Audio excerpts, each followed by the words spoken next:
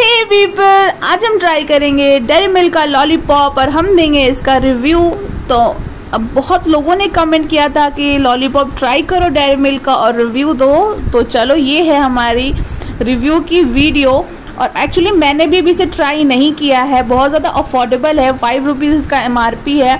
तो मैं भी अभी ट्राई करूँगी। मुझे लगता है ये चॉकलेट नहीं है इसके अंदर कुछ टॉफी टाइप होगा। मतलब एक्सपेक्टेशन थी कि इसके अंदर चॉकलेट होगी, लेकिन इसके अंदर चॉकलेट नहीं है क्योंकि इतनी ज़्यादा गर्मी है तो अभी तक पिघल चुकी होती है। अगर चॉकलेट होती तो क्योंकि फाइव रुपीज़ की जो डेरे मिल्क की चॉकलेट भी आती है तो वो भी बहुत पिघल जाती है। उसे फ्रिज में रखने की ज़रूरत पड़ती है, लेकिन ये बाहर रहता है। मतलब फ्रिज से बाहर रहता है बट ये बिल्कुल शेप में यानी कि ये चॉकलेट नहीं है टॉफ़ी है।